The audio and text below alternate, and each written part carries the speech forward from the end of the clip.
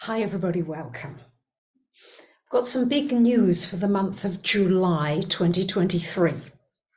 Because on the same day as we have a new moon in Cancer, strong moon because it's in its rulership sign, we also have the shift of the nodes. The nodes for the last 18 months or so have been in Taurus and Scorpio. And now they're going to change to Aries and Libra. Now, the nodes are particularly significant not only in our own personal lives, but also as a global community. And they can often indicate certain trends, certain things that we might expect, we might have to address together and separately. It will be very, very helpful if you can find all the cardinal signs in your chart Aries, Libra, Cancer, Capricorn. These four points are all getting activated at this time. In fact, it's what is known as a cardinal cross or a cardinal climax. It's when all these four cardinal signs are coming to play. And what does it mean? So, if you can find the four areas in your life you can get a free chart from my website, yourastrologysigns.com.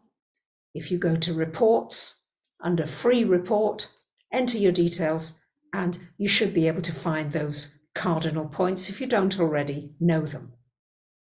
So, from July of 2023 until January of 2025, we've got this Aries Libra energy. So, the eclipses will go into the signs of Aries and Libra gradually.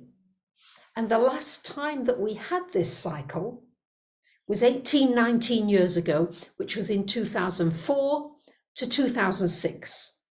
So you may want to look back at your life around that time and see what was happening, the kinds of changes that you made, and there may be further movement, further unfolding happening during this 18 to 19th month time. Now, when we're looking at the cardinal signs, we're looking at the seasons, the changing of the seasons. Now, Aries is spring, it's the springer time. And the North Node, just painted it so it's not dry yet. See how excited I am in this Aries mode, been tuning into.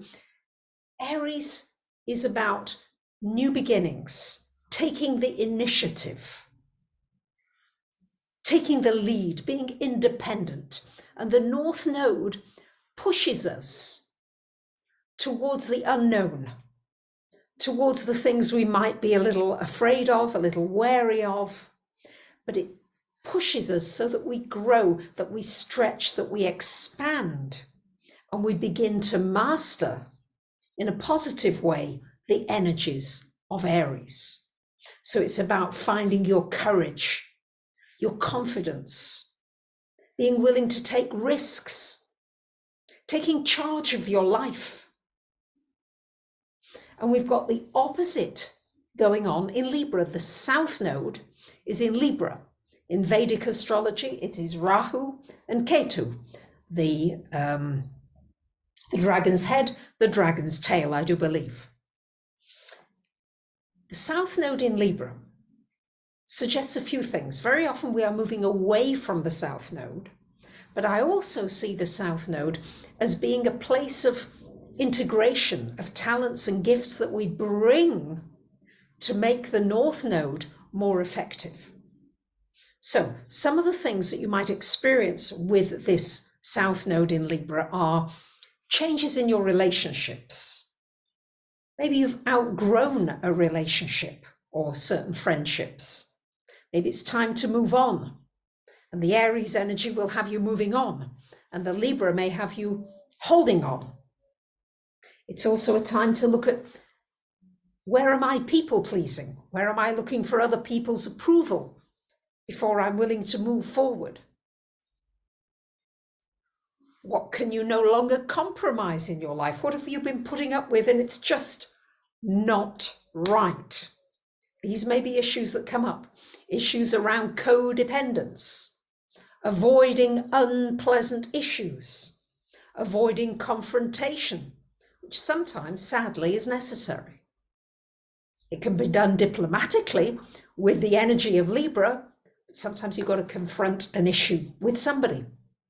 And it can be a really wonderful thing if you face something head on and you get your courage, you go in with the Aries, you face it with a diplomatic way with the Libra, and everything can come together and resolve. And you can deepen a relationship, maybe, rather than having to walk away from it. So these are some of the issues that I think you're going to be addressing.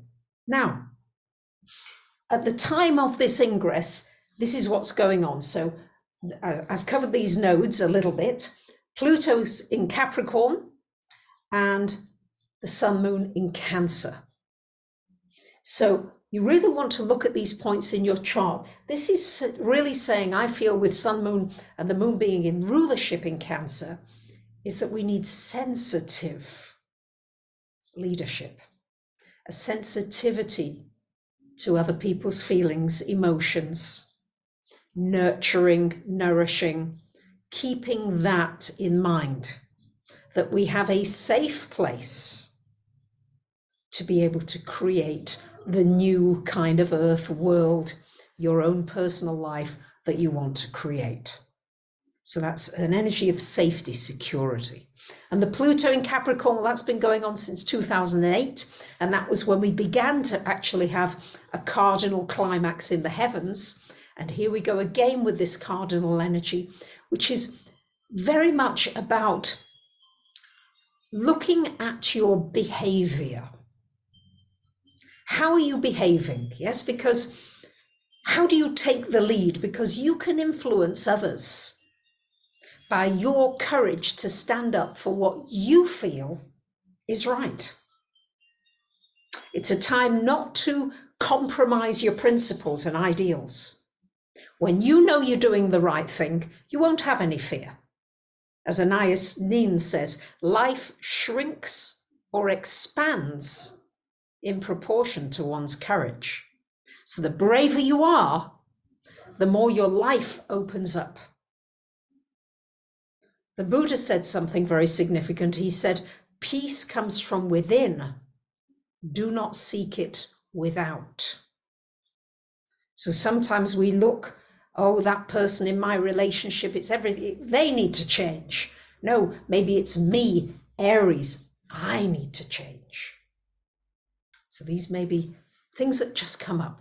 So, how do you lead in your everyday life?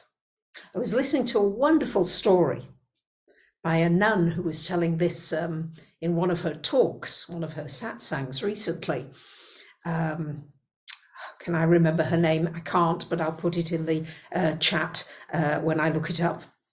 Um, but she said there was a, um, a story about a person who just wanted to brighten up another person's day and was driving through the McDonald's and said, Could you pay for the person behind me? We've all heard this, yes?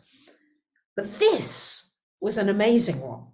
During this person's six hour shift, this went on non stop. Each car, in fact, one car bought a meal for the following three cars. And for six hours, this didn't stop, and 250 cars bought the next person their food. So, what do you have the courage to initiate that might change the lives of hundreds of people? by one small act.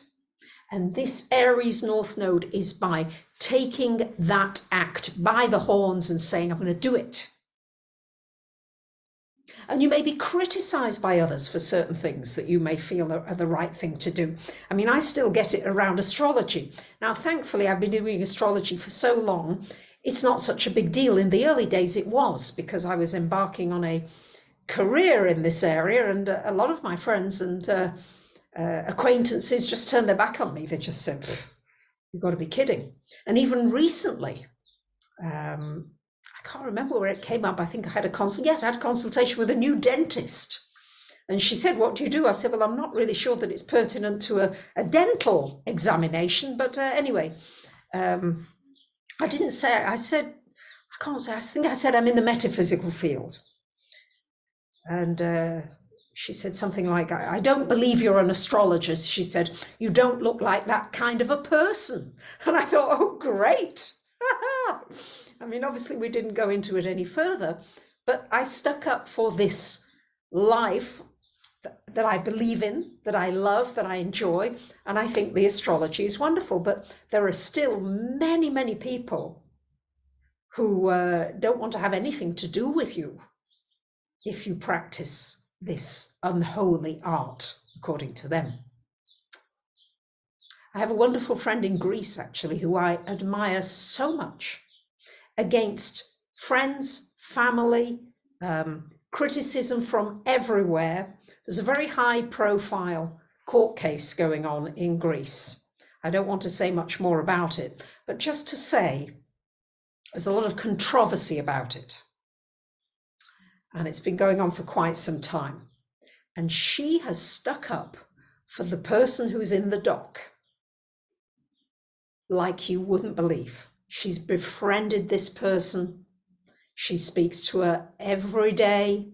She encourages her as she's going through the court day after day after day. And she really believes that this person has been falsely accused. And it's just amazing. She's risked so much and is still standing by this feeling that this is not right and I can't sleep at night knowing this is not right. So, is there something in your life that you know is not right and you need to absolutely stick up for it? This Aries North node will have you jumping out of your skin. Okay, that's the energy we're working with. It's very powerful, it's very strong. And something that I felt that might bring this together is this is my wish is that every day can I be a messenger of peace, Libra, and goodwill to everybody through right actions, Aries because we're always looking to balance the nodes. It's not about one or the other, it's about bringing them into balance. So I hope that this has been enjoyable for you. I hope this gives you some inspiration. I look forward to your feedback. I've created um, a painting for this ingress. Not sure if you can see that. The fiery energy of Aries coming through. And let's see if there are any Pleiadian Oracle cards that come through. Just give them a little shuffle and see what uh, is this message for this. Hmm. Okay, let's have a look. Here we go. So here are the cards. Tune into your divine guidance, your conscious conscience is your divine guidance. You know when you are taking action that is good action, and you know when it's not leading to something good and healthy. Explore imaginary worlds. Aries takes you into places that you can only imagine at this point. It might not be real yet but it's it's a process of birth and because it rules spring you're springing potentially into a new life and i love this card which is simplicity is your secret because i always think of aries as the fool in the tarot deck which is it's just going. It's just moving. It doesn't know where it's going. It might be going off the edge of a cliff. It's taking action and it's moving. So I hope this helps you. I very much would like to recommend dear Pam Gregory's book about the nodes if you haven't already read it. It's a little advanced, but it's a wonderful landmark book. So you might want to check out her website, which I think is um, the next step uk.com, but if you look, put Pam Gregory in, I'm sure you'll find her. You might want to check out the webinar that we did about the nodes. I also did an introductory webinar about the nodes in case you don't know very much about them at all. And um, in a separate video, I'm going to translate these nodes musically for you, for those of you who are interested. Thank you for listening. Looking forward to your feedback. Bye for now.